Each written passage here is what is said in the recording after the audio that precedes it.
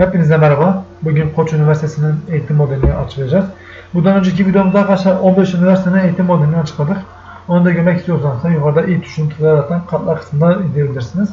Kanalımıza geçmeden önce bize destek e, vermeniz için arkadaşlar kanalımıza abone olmanızı istiyoruz. Yani sizin desteğiniz bizim için çok önemli. Bu yüzden bize destek olabilmeniz için kanalımıza abone olmanızı ve like atmanızı istiyoruz. Şimdi hepinize iyi seyirler. Arkadaşlar Koç Üniversitesi 15 Ağustos'ta paylaştığı planı, planı değiştirerek Güzde'nin desene uzakta eğitim yapacağını açıkladı. Daha ayrıntılı bakalım. Değerli Koç Üniversiteleri, sizleri e, Rumeli Feri'nde kampüsünüze geri dönüş ile ilgili yazıyorum. Sağlık Bakanlığı ve Yüksek Öğretim Kurulu 4 Eylül 2020 tarihinde yeni koronavirüs salgını eğitim öğretim süreçleri ile ilgili üniversitelere gönderdiği son yazıda istisnadan sizlere 15 anlamını değiştirerek güz dönemi öğretimi süresinde derslerin çevrim içi uzaktan online yapılmasına karar verdik.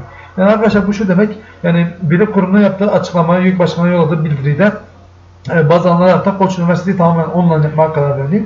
Neticesinde bu dönem Koç Üniversitesi'nin tamamen online olacağı ve derslerin tamamen online süreceğini söyleyebiliriz. Peki arkadaşlar bu online sistem nasıl olacak? Siz tabi bu konu hakkında daha fazla bilgi için Koç Üniversitesi'nin duyurak kısmını takip edin.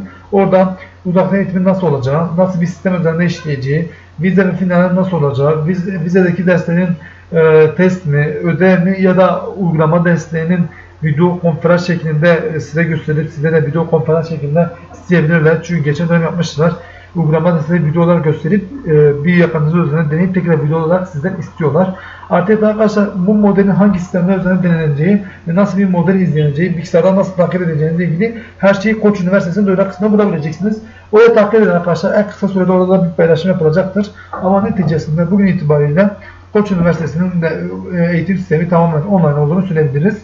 Siz de bu tarz videolar için kanalımıza abone olup bize destek. Desteğiniz, desteğiniz bizim için çok önemli arkadaşlar. Siz destek verdikçe biz video atıyoruz. Takipte kalmanız dileğiyle. Hoşçakalın.